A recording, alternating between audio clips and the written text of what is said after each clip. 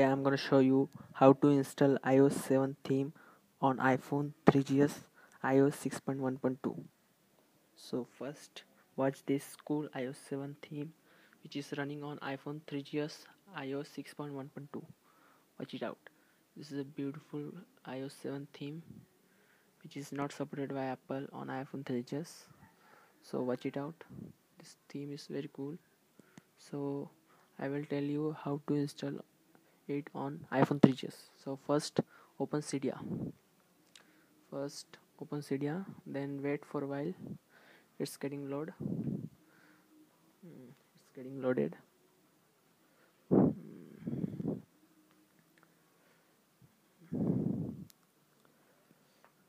loading. It's getting load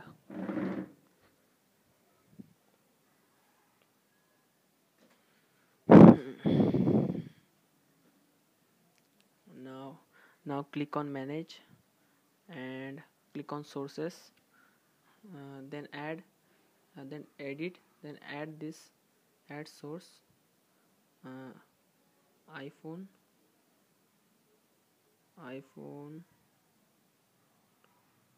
uh, add this source iphone iphone legend dot myrepospace.com after adding this source open this source and go to i and you will find iOS 7 icons.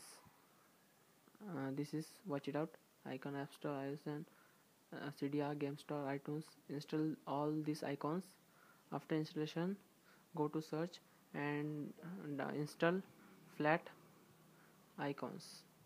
Install flat icons after installation these flat icons uh, close Cydia.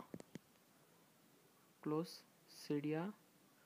Now go to winterboard now go to winterboard uh, click winterboard uh, now click on select theme.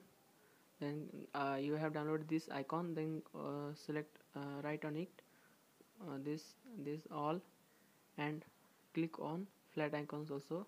After this respring your device and you will have your iOS 7 theme on your iPhone 3GS which is not supported by Apple officially. Watch it out. This is a cool theme. Uh, I have uh, status bar also. Watch it out. Thanks for watching this video guys. And subscribe me and watch all of my videos. Thanks